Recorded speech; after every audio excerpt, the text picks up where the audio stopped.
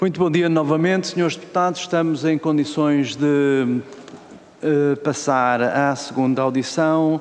duas boas-vindas à senhora Ministra do Trabalho, Solidariedade e Segurança Social uh, para um, os efeitos dos requerimentos dos grupos parlamentares do Partido Social Democrata e do Chega. Uh, assim, tenho a palavra, em primeiro lugar, em nome do PSD, a senhora deputada Clara Marques Mendes, para fazer a intervenção inicial, como sabe, cinco minutos. E eu peço aos senhores deputados que a, a máxima contenção nos tempos, uma vez que já estamos a deslizar eh, bastante. De Seguir-se-á o Sr. Deputado Jorge Galveias, do, do Chega, com outros tantos uh, cinco minutos, e a Sra. Ministra uh, responderá a esta primeira ronda pelo período de até 10 minutos. Uh, seguidamente, cada grupo parlamentar terá 5 minutos para uh, intervir, uh, num total de 30, que é o tempo correspondente ao que terá a Sra. Ministra para responder. Tem a palavra a senhora deputada Clara Marques Mendes. Muito obrigada, Sr. Presidente. Cumprimentar mais uma vez o Sr. Presidente, os colegas, cumprimentar a Sra. Ministra e, naturalmente, agradecer também a disponibilidade para estar aqui hoje conosco no seguimento do requerimento um, apresentado pelo PST.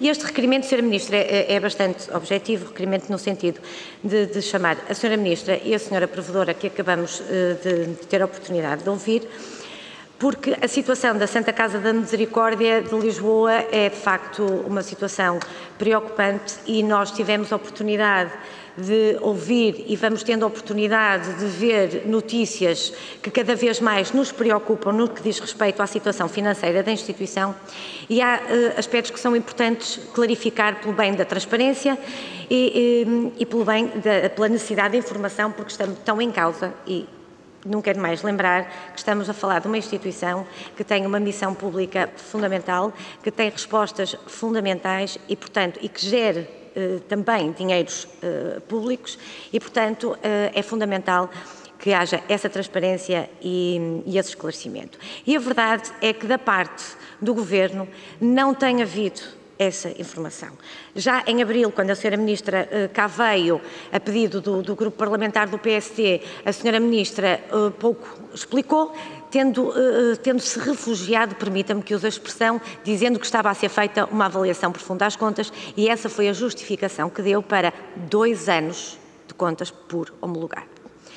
Uh, na sequência desta nossa audição e mais tarde, eh, tomamos conhecimento também, porque não foi o Governo que informou o Parlamento, que tinha havido dois processos, ou seja, que tinham sido instaurados dois processos. Um, uma auditoria externa à Santa Casa Global e outro, eh, eh, uma reavaliação às contas feita pela nova mesa da Santa Casa. De imediato, nós pedimos a informação ao Governo para explicar por que razão é que tinha sido feita essa avaliação profunda que a Sra. Ministra disse que estava o Governo a fazer, mas que afinal percebemos hoje que não era o Governo que a estava a fazer, e eu já explico porquê, eh, que o Governo estava a fazer essa avaliação e queríamos perceber exatamente o que é que tinham encontrado que pudessem esclarecer o Parlamento e os portugueses que tinham encontrado que tivesse originado estes dois procedimentos. Ora bem, o Governo aqui o que nos fez e, Senhora Ministra, eu vou dizer que, para ser simpática, eu vou dizer que a, informação que nos deu é manifestamente insuficiente, mas isto é só para ser simpática, porque a informação que a Senhora Ministra nos deu foi exatamente a informação que nós pedimos. Ou seja, o que a Senhora Ministra se limitou foi a relatar o que tinha sido feito. E não foi isso que o PSD pediu. E é importante nós percebermos o que vai acontecer daqui para o futuro com a situação da Santa Casa, mas é importante perceber como é que nós chegamos até aqui. E isso não conseguimos explicação. O que vai acontecer, por isso nós pedimos a, a, a, a, vinda da senhora provedora para percebermos de facto que se há ou não comprometimento das respostas que esta instituição dá, mas precisamos de perceber como é que chegamos até aqui. E nós, cada vez que vamos ouvindo entidades e vamos Uh, uh, assistindo a relatos de determinadas situações, vamos percebendo que houve aqui, de facto, uma falha do Governo. E houve uma falha do Governo no sentido do, da sua missão também e competência, que é de fiscalizar esta instituição. E desde logo, olha, dizer que a senhora provedora acabou, terminou a sua audição dizendo-nos que a grande maioria das situações que foram encontradas A senhora Ministra do Trabalho desconhecia. Sim, senhora, não pomos em causa que desconhecesse. Agora, senhora Ministra, eu pergunto-lhe, acha normal que um governo que tenha tutela de uma instituição como esta, um governo que tenha os poderes de fiscalizar esta instituição, que tenha a obrigação de homologar ou não as contas, esteja dois anos sem fazer nada, não tome nenhuma decisão e deixe a instituição caminhar para situações cada vez mais gravosas em termos financeiros? Não, não nos parece normal, mas já, agora gostaríamos de perceber por parte da Sra. Ministra, que explicação é que tem para, é que tem para dar para a esta, a esta situação. Depois também disse-nos a Sra. Provedora que uh, um mês após a tomada de posse apresentou à Sra. Ministra um relatório preliminar, que foi o tal relatório que deu origem a, a estes dois processos da avaliação externa e da reavaliação das contas. Portanto, um mês após tomar posse, a, a nova mesa fez um trabalho que o Governo não fez em dois anos. E, portanto, esta também é uma conclusão que chegamos e, portanto, há, há, há que eh, assumir as responsabilidades, Sra. Ministra, e dizer, efetivamente, Sr. Presidente, são cinco minutos, está quase a terminar. Uh, e, portanto, isto é fundamental que a Sra. Ministra explique. E depois há uma outra questão, Sra. Ministra, e mesmo para terminar. Nos estatutos da Santa Casa da Misericórdia, refere que, no artigo 17, que há um Conselho de Auditoria, que tem vários membros. E dada a sua composição, não nos parece que o Governo não tivesse uh, conhecimento. E eu pergunto se teve conhecimento, se houve alguma coisa que foi feita pelo Conselho de Auditoria e o que é, se o Governo esteve atento àquilo que foi feito pelo Conselho de Auditoria e, o que, é que e que medidas é que tomou. Portanto, Sra. Ministra, são estes esclarecimentos que nós queremos ver prestados uh, aqui hoje, de facto, a bem de uma instituição que é fundamental na missão de interesse público que prossegue. Muito obrigada. Obrigado, Sra. Deputada. Tem a palavra o Sr. Deputado Jorge Galveias.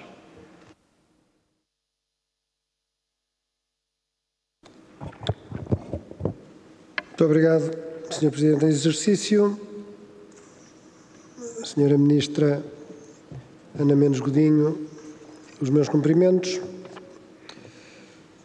Apesar do requerimento apresentado pelo Chega sobre os problemas de gestão da, na Santa Casa da Misericórdia ter sido rejeitado em sede da Comissão de Trabalho de Segurança Social e Inclusão na reunião de 5 de julho, a atualidade e a pertinência do mesmo não só se mantém, como ganha novo ímpeto depois de ter sido revelado na comunicação social que a Santa Casa pretende cortar de apoios na área do desporto e dos espetáculos.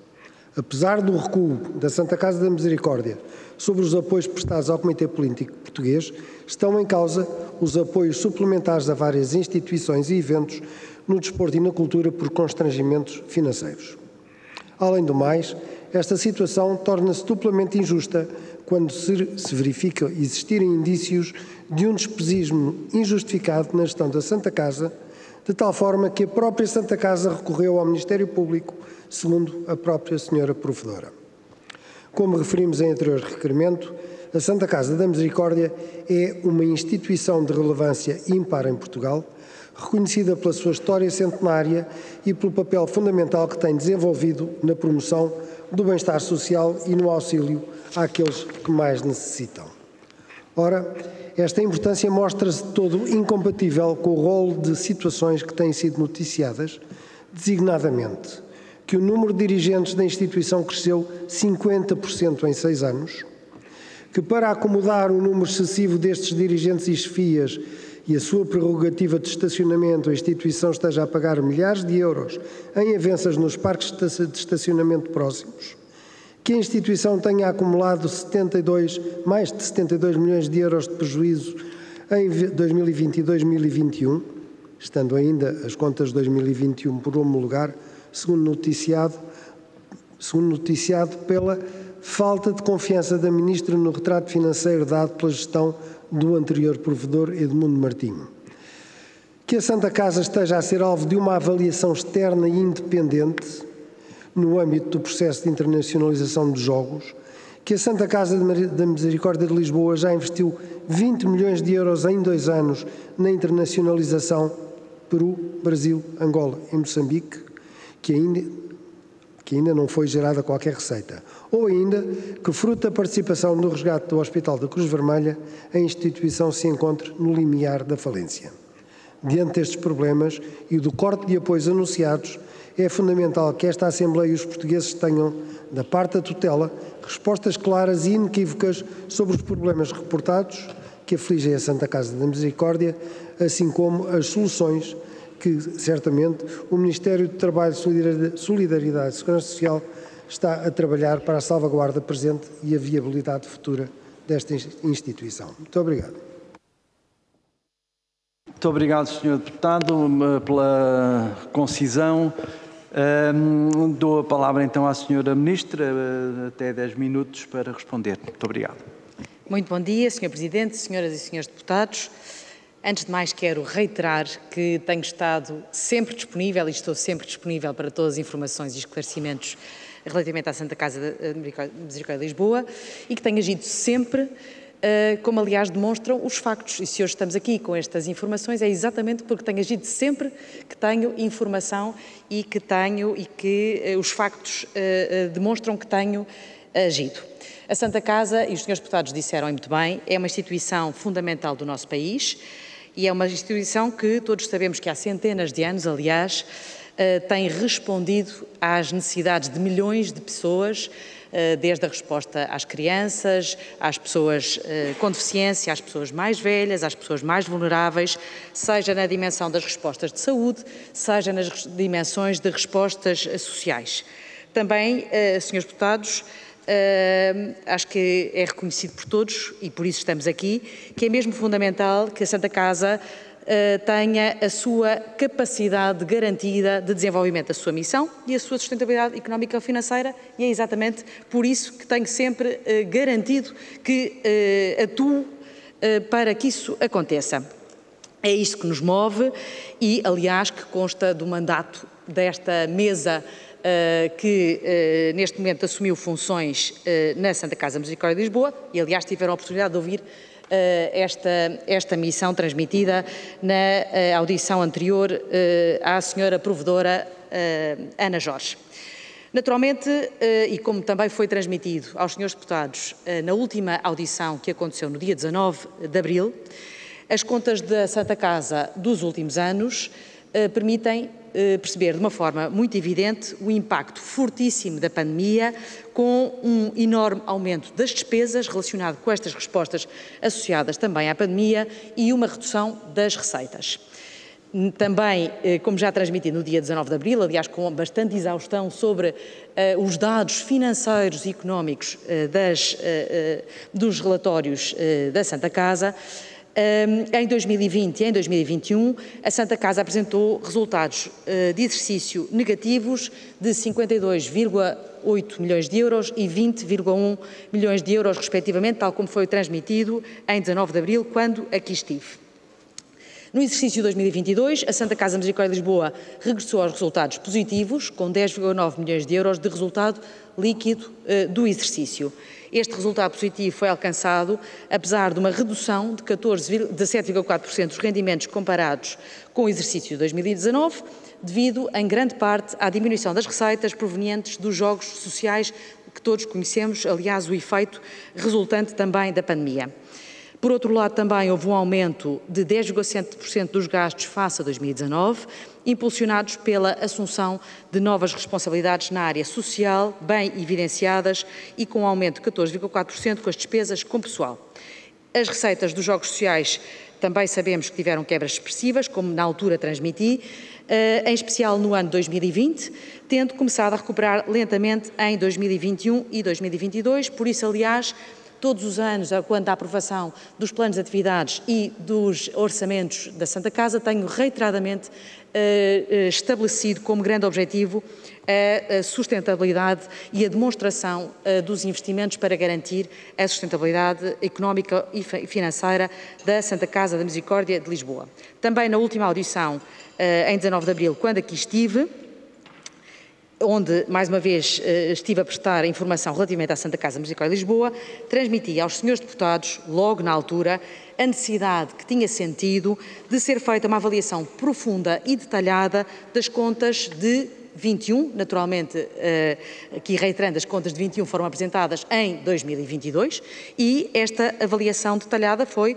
uma avaliação interna que eu pedi detalhada dentro do Ministério para melhor compreender as rúbricas de forma a identificar as variações das receitas e das despesas que ocorreram no ano de 2021 e depois, naturalmente, no ano de 2022, com as contas que me foram apresentadas em março de 2023, porque, naturalmente, como sabemos, as, as contas são apresentadas uh, no, ano, no ano seguinte.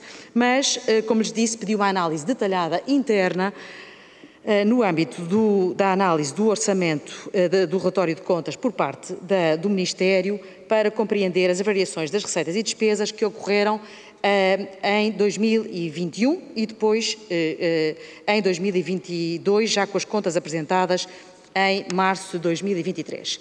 Não nos podemos esquecer nunca do papel crucial que a Santa Casa teve durante a pandemia, acho que isso é evidente e reconhecido por todos, que assegurou um elevado número de respostas sociais, com um aumento significativo dos custos para fazer face às necessidades acrescidas da proteção das pessoas em todo o país, mas eu considerei, ainda assim, que, independentemente destes custos acrescidos estarem justificados e demonstrados pelo aumento de, de, respostas a que a Santa Casa teve de socorrer em todo o país, e repito, em todo o país, considerei mesmo que era preciso ter uma avaliação estrutural da evolução da situação financeira, ainda que e eh, respondo já diretamente à Sra. Deputada Clara Marques Mendes, ainda que o Conselho de Auditoria da Santa Casa da Misericórdia de Lisboa tivesse emitido parecer favorável à aprovação dos relatórios de gestão e contas da Santa Casa e os auditores externos emitiram parecer sem reservas e sem ênfases. Ainda assim, considerei que era importante ter uma avaliação estrutural para perceber exatamente a, a dimensão da sustentabilidade económica ou financeira da instituição. E foi por isso que solicitei também uh, à nova mesa, mal iniciou funções, que uh, fizesse uma avaliação estrutural da evolução da situação financeira, uh, mal tomou posse a nova mesa. Esta nova equipa tem um mandato claro, eh, que foi por mim transmitido à provedora e a toda a equipa, de foco na missão social, reforço da gestão, da gestão sustentável, aumento da eficiência das respostas sociais e equilíbrio financeiro da Santa Casa da Misericórdia de Lisboa. Penso que nos move, aliás, a todos este, esta missão e estes objetivos. Na sequência deste meu pedido inicial, a provedora transmitiu-me ter identificado preocupações com a situação socioeconómica, com especial relevância no processo de internacionalização conduzido pela Santa Casa Global, empresa constituída para a internacionalização do jogo. Face a estas preocupações apontadas pela nova mesa, eu determinei, mal tive conhecimento desta informação, por despacho meu de 12 de junho, que a Santa Casa desencadeasse de imediato, por um lado, uma auditoria externa independente à Santa Casa Global, no âmbito do processo de transição do jogo, uma reavaliação dos relatórios de gestão e contas da Santa Casa da Misericórdia de Lisboa, de forma a incluir todos os factos novos que viessem a ser apurados na sequência da auditoria e também, por último, que a Santa Casa desencadeasse os procedimentos necessários face a todos os factos que viessem a ser identificados, como, aliás, a senhora provedora aqui transmitiu na audição anterior. A Santa Casa de Misericórdia de Lisboa deu sequência ao meu despacho e a avaliação externa encontra-se em curso. Esta avaliação é de extrema importância para acabar o esclarecimento de toda a situação e as suas conclusões vão permitir à mesa reavaliar a viabilidade económica ou financeira das operações realizadas no âmbito da internacionalização do jogo. Em relação às contas de 2024, a Santa Casa Misericórdia de Lisboa apresentou um orçamento que garante o equilíbrio e a sustentabilidade financeira desta instituição extraordinária. E é isso mesmo que nos move e que nos garante eh, o cumprimento da sua missão.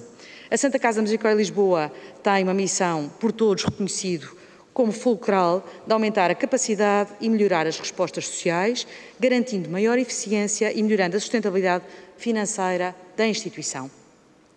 É reconhecido por todos a sua grande capacidade de intervenção social, faz diariamente um trabalho crítico e importante na ação social, na saúde, na educação, na formação, na inclusão, na cultura, no património, na investigação e na inovação. Os trabalhadores da Santa Casa foram e são inexcedíveis e por isso o meu agradecimento também nunca será suficiente atendendo à grandeza do seu trabalho. E é por isso também que é especialmente importante que, mesmo no contexto que vivemos, tenha sido possível a conclusão prevista do acordo com os trabalhadores para a sua valorização. Este tem de continuar a ser o foco da Santa Casa da Misericórdia de Lisboa, honrando a sua história e construindo o seu futuro nesta missão, que é uma missão conjunta. Muito obrigada.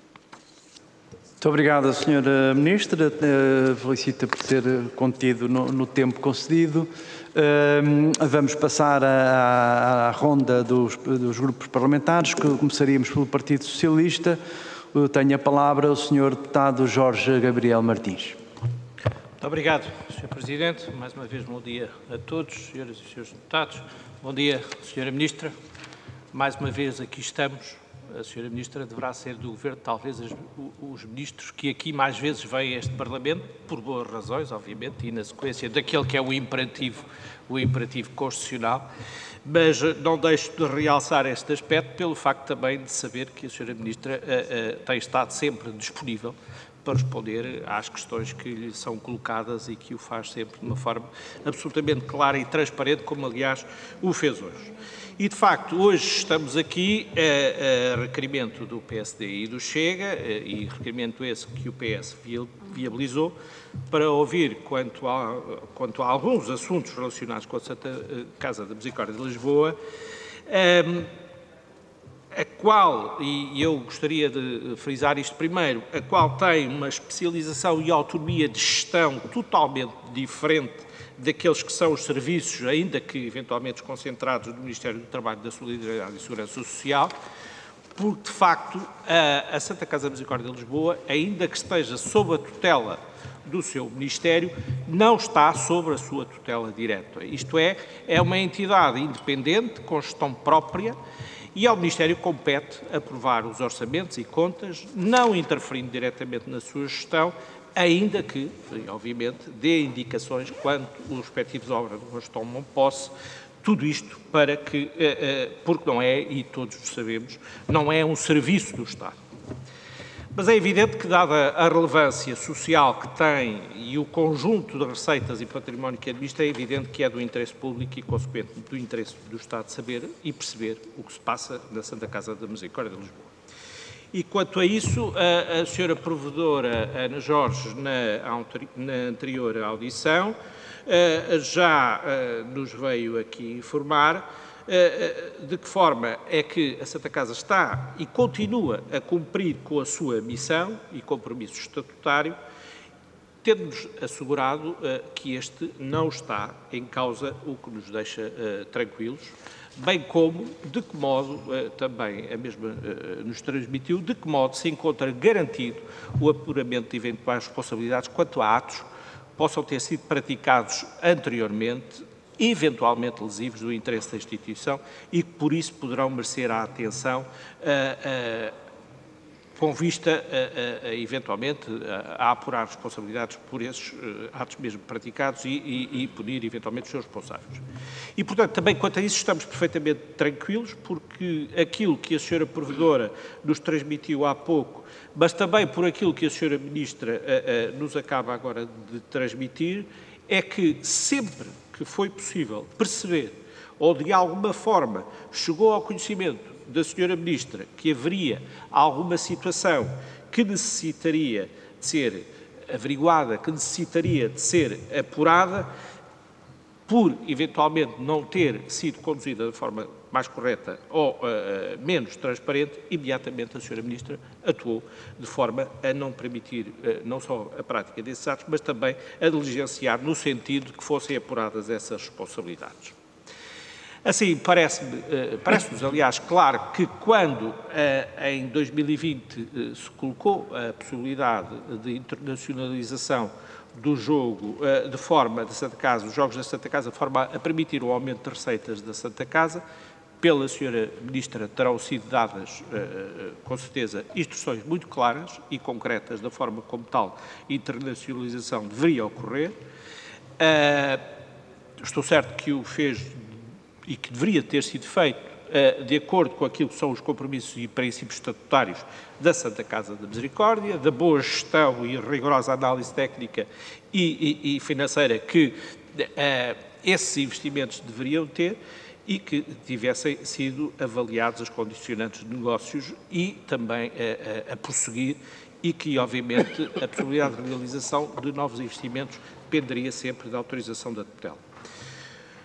Ora, aquilo que percebemos e por aquilo que a senhora provedora nos disse e agora também a senhora ministra nos transmite é que, eh, de facto, eh, quando a atual gestão da, Santa Casa da Misericórdia chega, de facto, transmite algumas preocupações ou algumas situações e é aí que, quanto à avaliação que fez de, de portanto, de atos praticados anteriormente, e é aí, é aí que uh, imediatamente, portanto, é ordenada, vou concluir, vou concluir, Sr. Sr. Presidente, imediatamente, é aí que é, é, é, é ordenada, aliás, por despacho que a Sra. Ministra uh, promoveu nessa altura, é ordenada a realização de uma auditoria externa, independente, que avaliasse a legalidade e a legitimidade e os efeitos das ações efetuadas, em conformidade com as tais instruções que anteriormente teriam sido uh, transmitidas. Por isso, uh, parece-nos que, obviamente, aquilo que irá ser apurado será apurado, as conclusões chegar-se-ão a seu tempo a conclusões, se houver que apurar responsabilidades, essas responsabilidades serão apuradas. Agora, aquilo que realço, aquilo que não nos resta dúvida, é que, efetivamente, foi feito o que tinha que ser feito e uh, uh, estamos descansados que o, aquilo que é a missão da Santa Casa da, da Misericórdia de Lisboa continua integralmente garantida. Portanto, uh, Sra. Ministra, uh, para que não, concluir. concluir, para que não restem dúvidas, pergunto-lhe apenas quais é que foram, em concreto, as instruções que deixou ao anterior provedor para que desenvolvesse este processo de, inter, de, internacionalização, quando é que teve, e reafirmo para que não fiquem dúvidas, quando é que teve conhecimento de eventuais procedimentos que não teriam sido cumpridos da forma que havia transmitido e o que é que foi então, na sequência dito, feito em concreto, nomeadamente qual foi o mandato que atribuiu à, à, à nova provedora, à senhora doutora Ana Jorge, para que verificasse essas situações e prosseguisse, e prosseguisse aquela que é a missão do, da, da, da, Santa Casa da Misericórdia. Muito obrigado, Sr. Presidente, pela tolerância. Muito obrigado, Sr. Deputado. Uh, tem a palavra o Sr. Deputado Nuno Carvalho, do, do Grupo Parlamentar do PSD. Muito obrigado, Sr. Presidente. Cumprimentá-la a cumprimentar a Sra. Ministra, cumprimentar os Srs. Deputados novamente. Sra. Ministra, a Sra. Provedora eh, indicou de forma clara que encontrou uma situação no que diz respeito, uh, por exemplo, e eu vou dizer aqui por exemplo porque parece-nos que claramente pode haver mais surpresas, no que diz respeito a esta questão da internacionalização, encontrou uma situação onde estava autorizado com a tutela uma despesa de 5 milhões e que essa despesa superou em muito esse valor. Eh, ora, nós sabemos que pelas notícias chegou pelo menos a 20 ou 30 milhões, eh, se calhar eh, eventualmente é pode ser superior a isso, porque essa auditoria ainda decorre, portanto significa que pode chegar aos 30, 40, 50 milhões. Uh, o que significa que, neste momento, a situação é preocupante desse ponto de vista. E, portanto, a primeira questão é não há nada a confirmar no respeito a isso, porque a senhora Provedora, naturalmente, o que já disse uma coisa que encontrou e que a senhora Ministra não iria dizer de forma diferente. Portanto, dos 5 milhões, já passámos por um valor em que não sabemos ao concreto porque é que uh, foi gerado este excesso que se parece transformar num buraco porque ainda não deu resultados, de 5 milhões para 30, 40 ou 50 milhões. Portanto, o primeiro buraco que sabemos é que uh, pode haver cerca de 30 milhões ou mais que não foram autorizados pela tutela, que foram gastos, supostamente investidos, mas que foram literalmente até o momento torrados porque não houve retorno. Isto é extremamente grave, ao ponto de claramente se ter enviado isto para o Procurador-Geral da República. Portanto, isto é um caso de polícia que está identificado. Nós não podemos abordar isto de outra maneira, porque foi claramente dito, foi enviado para a Procuradoria-Geral da República. Isto é um caso de polícia, por um buraco de vários milhões leva-nos a uma outra pergunta. Não haverá outros casos de polícia e outros buracos? Vamos dar outro exemplo. Apostas hípicas que foram anunciadas para começar em 2019, antes da pandemia, portanto, não há nenhuma razão para não terem começado. Mas a pandemia já passou. A Santa Casa de Misericórdia teve um aumento no, nos seus custos de marketing de 18 milhões para 24 milhões. Há uma notícia do ECO que diz isso. E a justificação era, este aumento de cerca de 33% é porque nós vamos avançar com as apostas hípicas. Gastou-se o dinheiro, as apostas hípicas não apareceram. E houve, inclusive, a trabalhadores da Santa Casa afetos esta, a, a, a, isto. Isto é um comunicado da Santa Casa que diz isto, que assume esta despesa. E as apostas hípicas não apareceram. E, portanto, parece somar-se mais um buraco de 6 milhões para uma coisa que era suposto ter acontecido e não aconteceu. Isto parece claramente, se calhar, está anexo, está apenso a este caso de polícia que foi comunicado. Mas isto é extremamente grave. Nós temos que ouvir da pausa, Sra. Ministra. Sim, isto é um caso de polícia. Foi enviado para a Procuradoria-Geral da República por casos suspeitas graves, porque desautorizaram-me. Eu autorizei 5 milhões e gastaram muito mais do que é suposto. É preciso ouvir isto, é preciso ouvir essa indignação, Sra. Ministra. Eu, eu, eu ouço os senhores deputados do Partido Socialista, com todo o respeito, desculpem, mas a questão de transparência, ainda nós ainda não sabemos, nem a Sra. Ministra sabe, nem a Sra. Provedora sabe. Há buracos, e nestes buracos há outra coisa que nós ficamos perplexos, é porque há uma vogal, a Sra. Vogal Ana Vitória Azevedo, tinha o Departamento da Internacionalização. Era a vogal responsável por despacho da Sra. Ministra e da Mesa que tinha esta matéria. Esta vogal, Sra. Ministra, se quiser, eu leio, leio isto. É, não, não custa nada. Uma vez vendo a sua expressão, é, é, é, só para ficar esclarecido. Fica ainda a cargo da vogal da Mesa, Ana Vitória Azevedo, um conjunto de situações, entre as quais entre as quais o acompanhamento do processo de internacionalização dos Jogos da Santa Casa Misericórdia de Lisboa, em estreita articulação com os administradores executivos do Departamento. Ora, como esta eh, mesária foi reconduzida e é agora vice-provedora, a questão é, então afinal como é que foi gasto este dinheiro? Passou para esta mesária? Porque eu não acredito que a senhora ministra e a senhora provedora, sabendo desta irregularidade, que de facto não a tivessem reconduzido e até passado, promovido para vice-provedora, se alguma coisa estranha não tivesse acontecido, não tivesse se calhar passado por esta própria mesária. E portanto isto é ainda mais grave. Dentro da própria administração da misericórdia, aparentemente, uma vez que ela for conduzida, e portanto não há aparentemente nenhuma desconfiança da parte da tutela, da senhora provedora, sobre esta mesária, passou a vice-provedora, mas que tinha a responsabilidade deste departamento, onde há este buraco da internacionalização, os 30 milhões que desapareceram. Portanto, isto é grave. A senhora ministra tem que demonstrar aqui ao, ao, ao, Parlamento e aos portugueses um nível de indignação igual àquele que nós claramente percebemos que levam a vocês serem vocês próprios tutela e, e, e misericórdia dizer temos aqui um caso de polícia. O PST tem um, um requerimento para ouvir o senhor ex-provedor, ex o senhor ex-vice-provedor que tinha os jogos e, portanto, também para explicar esta questão das apostas hípicas e também uma ex-mesária a propósito das várias notícias que saíram que, de facto, levantam suspeitas sobre aquilo que eram outras matérias da Santa Casa. E não digam que não é fundamental aprovar isto hoje e saber-se já hoje o que é que está a acontecer. Porque o próprio Governo e a própria eh, provedora, a atual provedora, dizem nós não sabemos onde é que o dinheiro foi parar neste momento. Tivemos que mandar fazer uma avaliação. E se o Conselho de Auditoria, e se o Conselho de Auditoria diz que está tudo bem, então isto é extremamente grave. Porque o Conselho de Auditoria, no mínimo, no mínimo, sabia perfeitamente aquilo que é a autorização da Ministra. E, portanto, de que forma é que as contas foram apresentadas? Isto foi escondido. Foi claramente escondido. É isso? Será? É importante perceber que é assim, isto é, um, isto é extremamente grave. Nós não queremos saber já os contornos da investigação que tem que ocorrer. Porque é preciso perceber, o dinheiro neste momento está desaparecido. São milhões e milhões estão desaparecidos. E nós, nós, não sabemos que outro tipo de práticas é que ocorreram, como estas apostas hípicas, como esta da, internacionalização. A senhora Ministra pode assegurar que não houve outras práticas que, que a desautorizaram? Não houve outras práticas que podem conduzir a um buraco ainda maior na misericórdia? Pode confirmar isso ou não? Se calhar não pode. E isto é extremamente grave. O que é que andaram a fazer com a misericórdia? E, Sra. Ministra, neste período de tempo, para terminar, Sr. Presidente, quantas vezes reuniu com o Sr. Provedor? Neste período de tempo, desde que não aprovou as contas, quantas vezes reuniu com o Sr. Provedor? Muito obrigado. Muito obrigado, Sr. Deputado. Tenho a palavra uh, o deputado Jorge Galveias, do Chega. Muito obrigado, Sr. Presidente em exercício, Srs. e Senhores Deputados, Excelentíssima Sra. Ministra. A Misericórdia de Lisboa é uma instituição secular, fundada em 1498 pela Rainha Dona Leonor, com o propósito de minimizar os problemas vividos na cidade de Lisboa, a orfandade, viuvez e mendicidade. Desde a sua fundação que a instituição seguiu o problema por boas causas e o seu trabalho foi sempre reconhecido por toda a sociedade civil. Mas, infelizmente, as coisas no presente mudaram e nuvens negras abateram sobre a instituição. É com tristeza e indignação que afirmo que o que se está a passar na Santa Casa da Misericórdia de Lisboa é motivo de vergonha. Vimos a não homologação das contas por parte do Ministério do Trabalho de Segurança Social e Inclusão a substituição do provedor de forma apressadamente tardia, pois os sintomas e sinais já eram visíveis há mais tempo.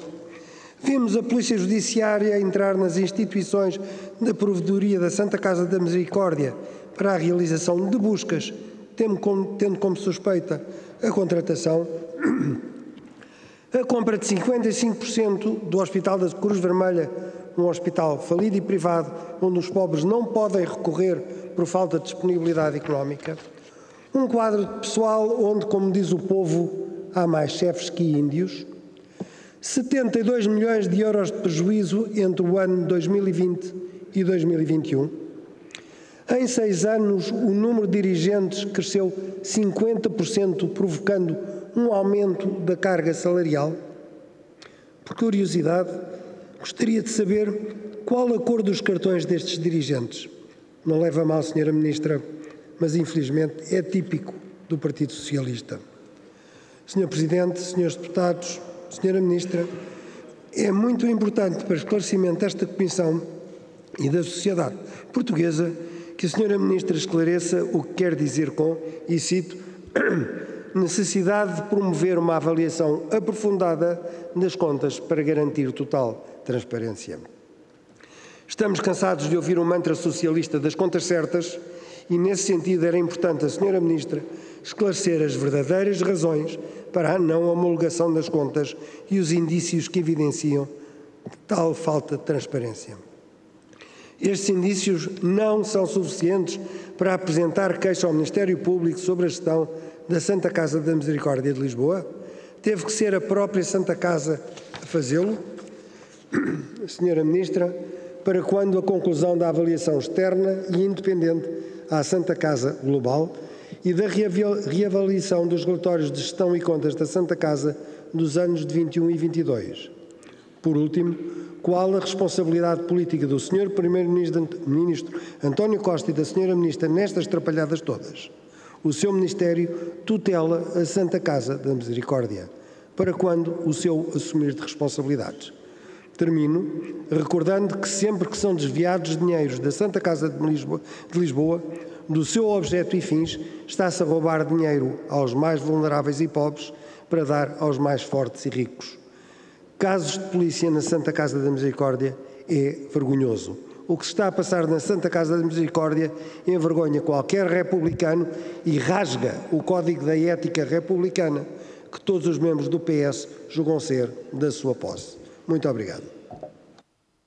Muito obrigado, Sr. Deputado. Portanto, tem a palavra agora a Sra. Deputada Carla Castro, da Iniciativa Liberal.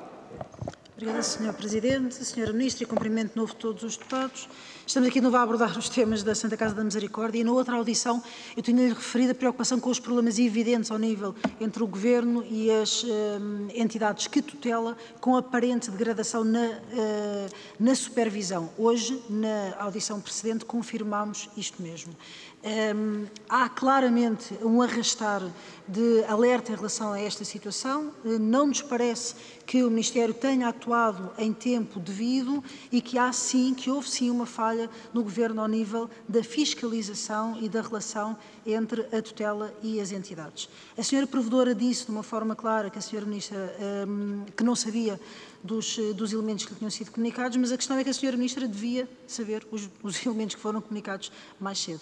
E, portanto, eh, a questão é se não considera que devia ter visto sinais de alerta mais cedo, se não deveria, em nome do interesse público, ter suscitado um, ter suscitado alertas mais cedo. Eu relembro que se estiveram contas por publicar durante dois anos.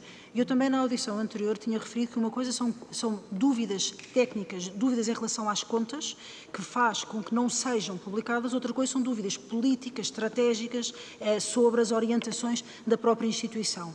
E até hoje isto tinha ficado um pouco no limbo, sendo que para mim me era claro que não, não havendo uma publicação deveria ser não de âmbito político, mas de âmbito técnico, e ficou claro hoje com a senhora Provedora a falar nas questões das irregularidades, do envio para a Procuradoria, do envio posterior depois também, como é natural, para o Tribunal de Contas. E, portanto, eu gostaria de saber se neste momento se não faz uma apreciação, um, porque temos de perceber também com os erros do passado, para termos melhores práticas no futuro, se do ponto de vista do escrutínio, se não deveria ter, obviamente, tido alertas mais, alertas mais cedo. Em relação à política de desporto, e que hum, muito foi disputado sobre o tema do financiamento e hoje não temos aqui ainda falado. Eu gostava de saber se está a tutela a debater um novo modelo de financiamento em relação ao desporto, se sim, em que moldes, um, e também saber concretamente o que está em cima da mesa para a Santa Casa da Misericórdia no orçamento de 2024. Portanto, eu diria, face aos comentários já havidos que, e face às restrições financeiras da Santa Casa, que deverá haver algum reforço financeiro em 2024, gostaria de ter a confirmação e o que é que está em cima da mesa sobre isto. Uma última nota um, que tem bastante, para além do tema do, do, desporto, que tem conexão com esta, com esta comissão de uma forma bastante forte. Uh, vários interlocutores nos últimos anos têm falado sobre a falta de objetivos e falta do, do delinear de uma verdadeira política de desporto em Portugal. Há um tema particularmente frágil que é o desporto para pessoas com deficiência e, em concreto, também um tema que de vez em quando vai sendo aflorado, que é o apoio ao desporto paralímpico. Uh, ouvi com agrado da senhora provedora falar na importância, uh, na garantia, até se possível no reforço do centro de, de Alcoitão para apoio às pessoas com deficiência e apoio também às modalidades desportivas. Eu gostava de saber uh, da senhora ministra como é que considera neste momento a saúde financeira do apoio ao desporto paralímpico e quais as garantias sobre o apoio e sustentabilidade destas modalidades. Obrigada. Muito obrigado, Sra. Deputada, pela sua concisão. Eh, eu tenho duas brevíssimas considerações a fazer na qualidade de deputado do, do, do PCP. Pergunto se, enfim, cuja duração será seguramente inferior à operação de mudança de mesa. Eu pergunto aos senhores deputados se algum senhor deputado se opõe a que eu permaneça na mesa com as vestes de deputado do PCP. Muito obrigado. Então, uh, Senhora Ministra, mais uma vez, muito obrigado pela, uh, pela sua presença. Uh, gostaria de, desde logo, de transmitir as preocupações do PCP, em primeiro lugar, em relação ao apuramento cabal do, dos factos, à correção das práticas e à instalação de uma verdadeira transparência quanto às, às contas e que, para além de continuar a aumentar constantemente a qualidade e a melhoria das respostas sociais a, a Santa, da Santa Casa da Misericórdia, e aqui vai a, a outra preocupação, é fundamental a valorização dos trabalhadores ao seu serviço. E disse, muito obrigado.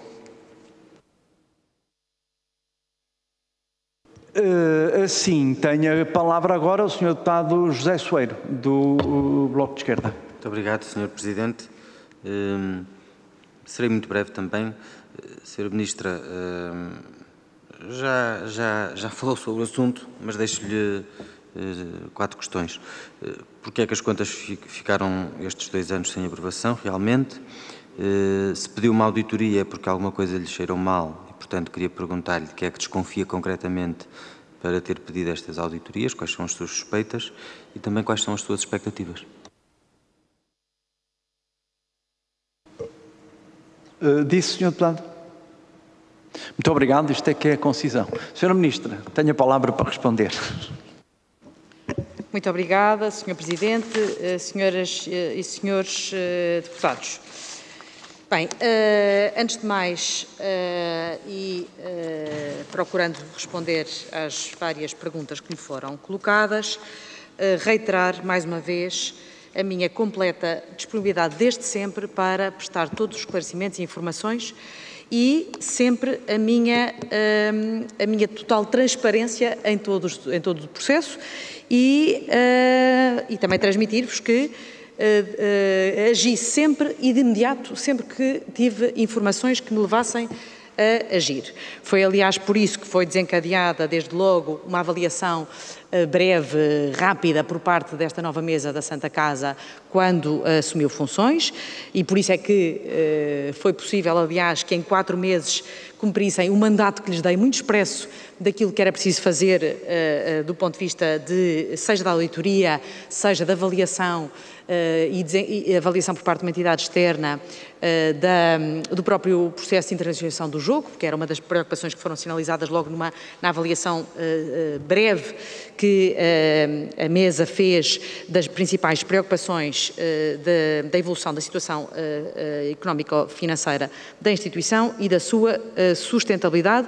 E, portanto, aquilo que a mesa fez foi exatamente cumprir o mandato que lhe dei uh, neste sentido para garantir o maior nível de informação possível e uh, intervenção e ação imediata. Por isso, aliás, pedi desde logo no despacho que proferi em 12 de junho que fossem depois desencadeados todos os procedimentos necessários face a todos os factos que viessem a ser identificados em cada momento e é isso que a mesa tem feito, cumprindo exatamente o despacho que eh, que eh, eu eh, proferi no dia 12 de junho, só para relembrar as datas, a reunião que eu tive com a provedora foi no dia 5 de junho, portanto, a reunião em que a provedora fez uma, um primeiro levantamento e identificação das áreas que considerava que deviam ter uma análise mais aprofundada para perceber exatamente o nível de impacto que podiam ter na sustentabilidade financeira da instituição e, portanto, a mesa agiu completamente alinhada e cumprindo o mandato que lhes foi dado.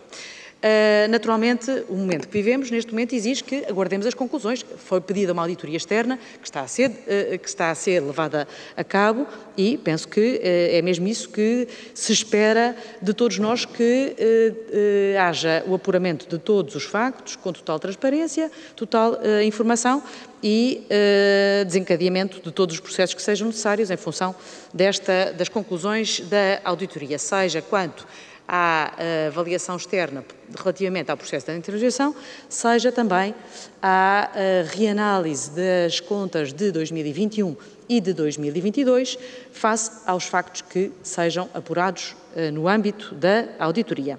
Eu reitero que desde 2020 que tenho acompanhado sempre com, uh, uh, com indicações expressas os, os planos de atividades e de orçamento da Santa Casa Misericórdia de Lisboa, com orientações expressas, nomeadamente, e posso aqui citar Posso aqui citar uh, o meu despacho, por exemplo, uh, na aprovação do, do, do, relatório e contas de, do ano 2020, em que expressamente dizia, di, di, uh, dizia no dia, isto no dia 23 de julho de 2021, considerando o, aumento do nível de despesa, que partilhei, aliás, com os senhores e senhores deputados, de preocupação, nomeadamente, fruto da, do impacto que a pandemia estava a ter visivelmente nas contas eh, da Santa Casa Misericórdia de Lisboa e para as quais penso que todos nós concordamos que era mesmo necessário esta resposta por parte da, da Santa Casa e acho que todos reconhecemos o trabalho que fez.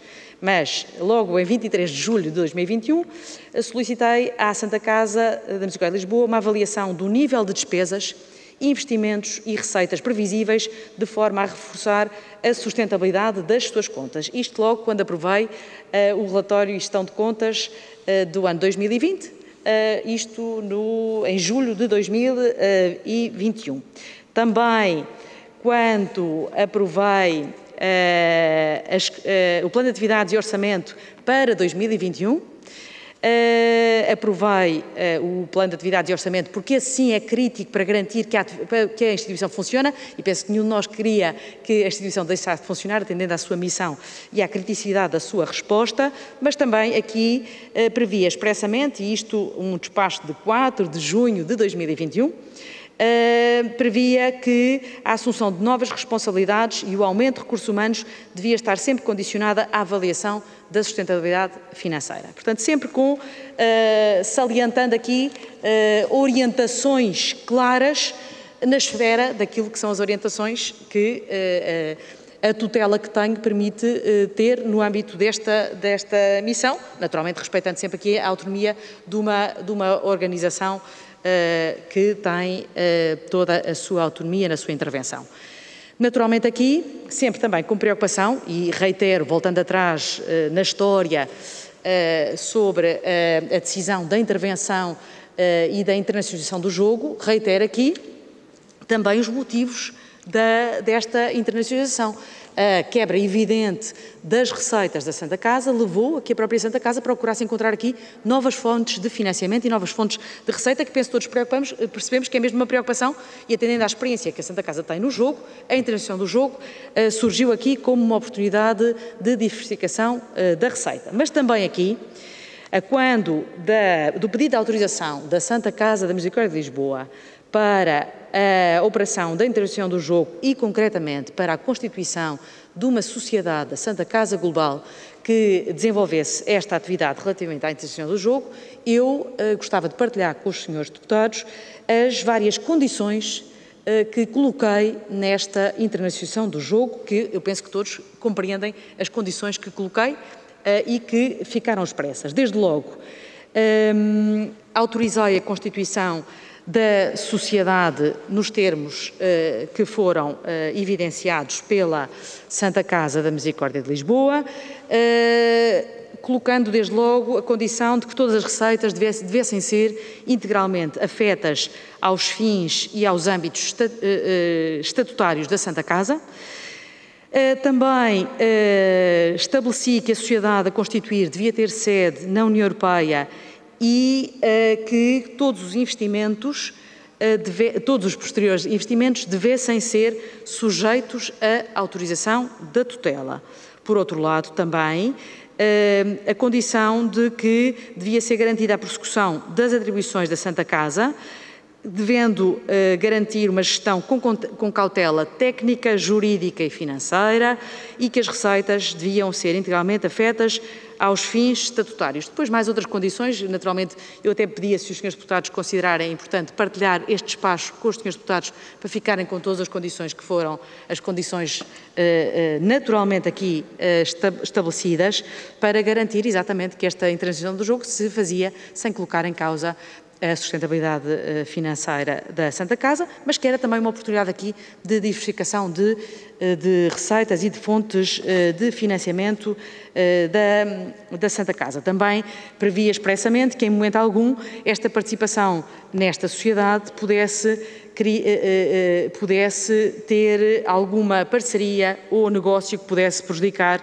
a Santa Casa, nomeadamente a nível financeiro. Portanto, um, eh, um despacho aqui completamente bem eh, delimitado do ponto de vista daqui da, da intervenção e que todo e qualquer investimento que viesse a ser feito tinha que ser sempre precedido de uma rigorosa análise técnica e financeira que avaliasse todas as condicionantes do negócio.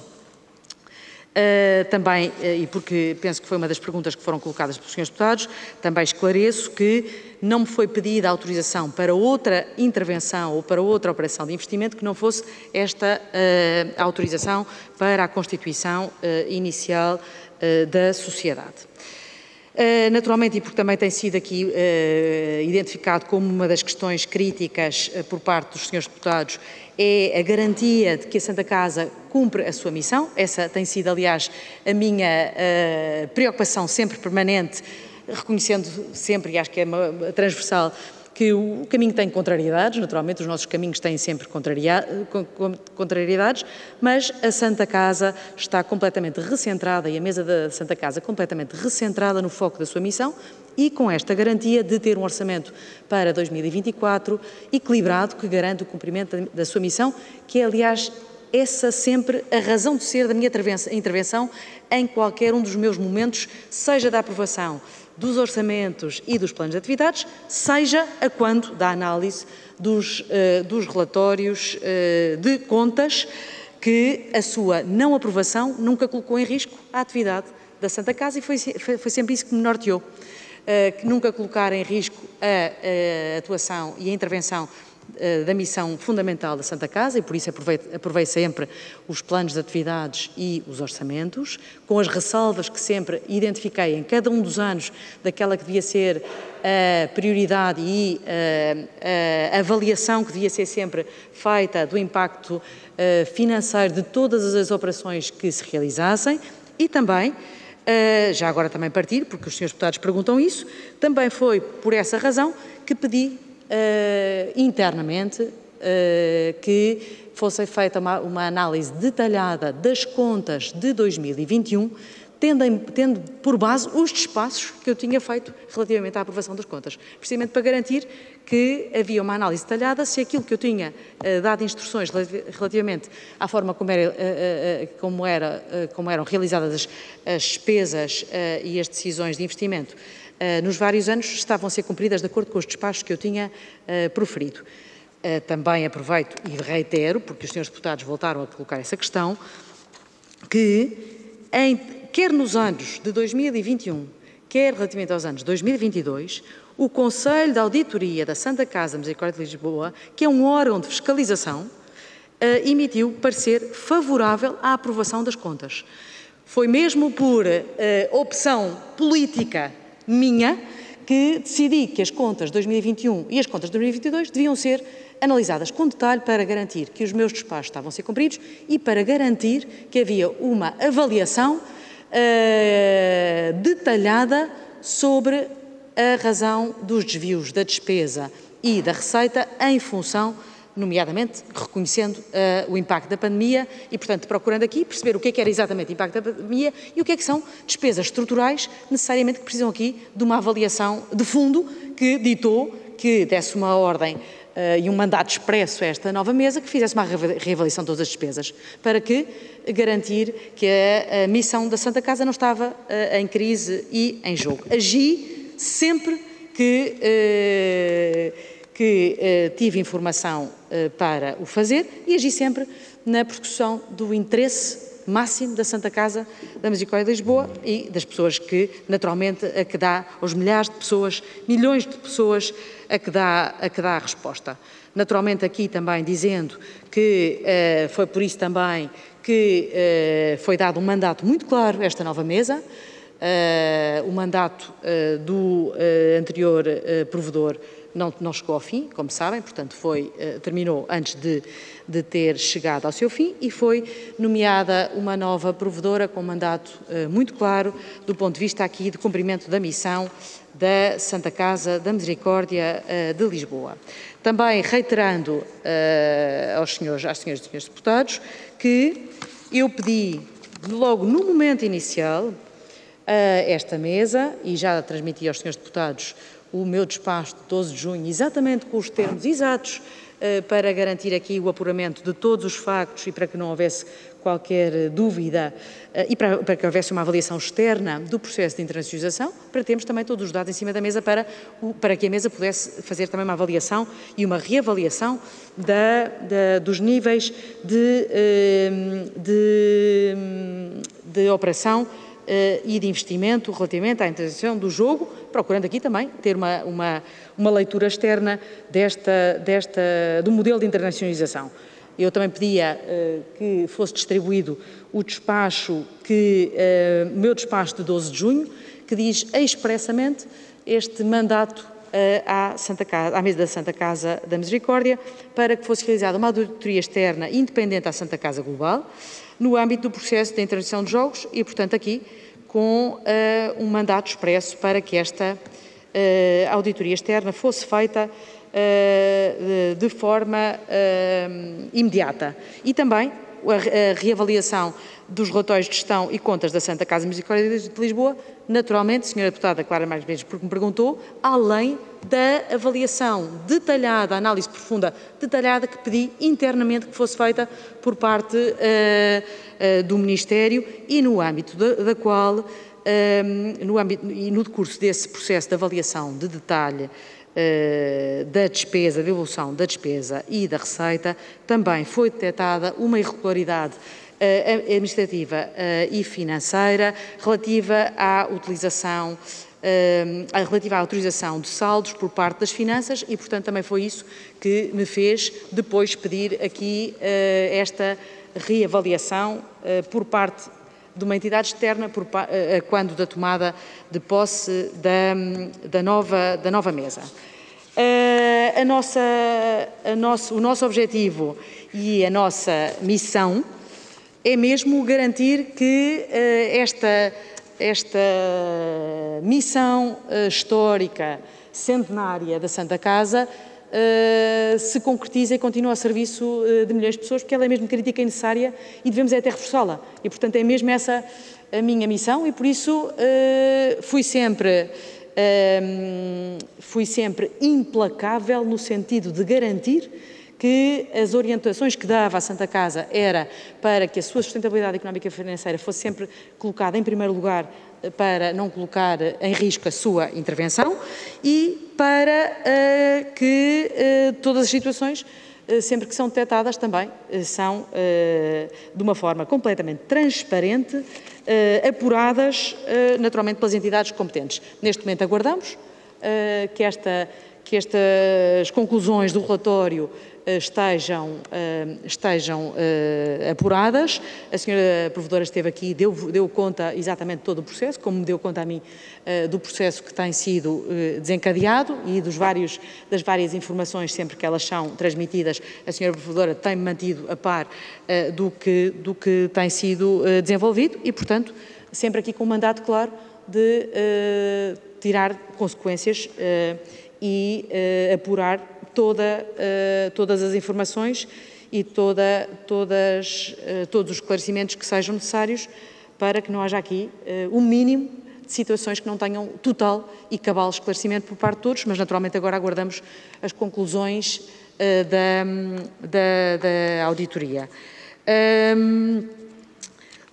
Os senhores deputados perguntaram também a questão das várias, dos vários investimentos que foram feitos ou que não foram feitos, nomeadamente na área do jogo, uh, a auditoria tem mesmo esse objetivo, que é de fazer aqui uma avaliação externa por parte de toda a situação uh, da intervenção do jogo e, concretamente, da, da, dos vários investimentos que foram feitos para uma reavaliação por parte da mesa e uma, uh, um recentrar por parte da mesa para garantir aqui que uh, há a capacidade de investimentos seguros e de foco também aqui eh, nos investimentos e na avaliação do retorno que eles, que eles têm. Naturalmente aqui, eh, reitero, porque o senhor deputado também no Carvalho perguntou, ehm, eh, toda, toda, em todos os momentos em que eh, fui chamada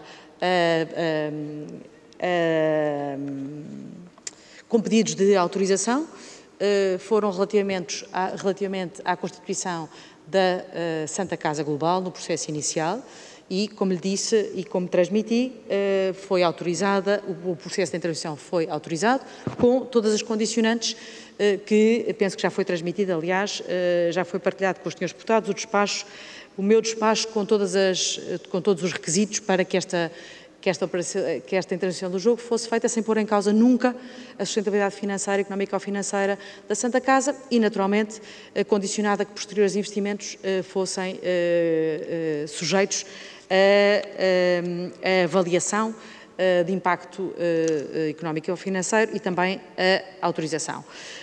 E, portanto, não tive indícios de, de outras eh, informações que não me tivessem sido colocadas à autorização, sempre que, sempre que houve situações eh, que, eh, relativamente às quais considerei que devia haver mais informações ou, ou devia haver esclarecimentos, agi de imediato para que isso fosse feito, mesmo, mesmo quando o Conselho de Fiscalização da Santa Casa não apresentava reservas sequer sobre as suas contas. E, portanto, mesmo nessas situações, foi mesmo por eh, decisão política que considerei que devia haver uma, uma avaliação mais detalhada sobre toda a informação uh, uh, também e que uh, isso foi feito. Agi sempre, imediatamente, na defesa da instituição e é isso que nos tem movido a todos e, portanto, completamente, aliás, alinhada com esta mesa que tem um mandato claro neste sentido. Uh, senhor deputado uh, uh, Jorge Galveias perguntou quando, quando, é, quando, é expectável também termos o resultado da auditoria. Aquilo que me foi informado pela Santa Casa é que é expectável que esteja concluída no final de, eh, de outubro, eh, início de novembro, em função também das duas dimensões, a avaliação da, eh, externa da, da, da operação da intervenção do jogo, por um lado, e a reavaliação depois das contas de 2021-2022, caso haja factos que resultem desta avaliação externa que devam ser uh, também aqui incorporados. Com esta grande preocupação de uh, também de centrar o foco da Santa Casa Misericórdia de Lisboa, como disse, e bem, na sua missão, que é isso que nos move e que nos preocupa, e, portanto, é isso que também que é essa a missão desta mesa. E também com o orçamento para 2024 que a Santa Casa já apresentou, de, que apresenta aqui um orçamento equilibrado que garante exatamente a sua missão e que é, é isso que penso eu que nos preocupa e que nos move uh, a todos e, portanto, acho que está garantida uh, a missão da Santa Casa, que é isso que nos, uh, que nos move, naturalmente aqui com apuramento de todo, todos os factos que sejam apurados e com a transparência total sobre aquilo que tem sido a história da Santa Casa, porque é isso também que é a nossa responsabilidade coletiva.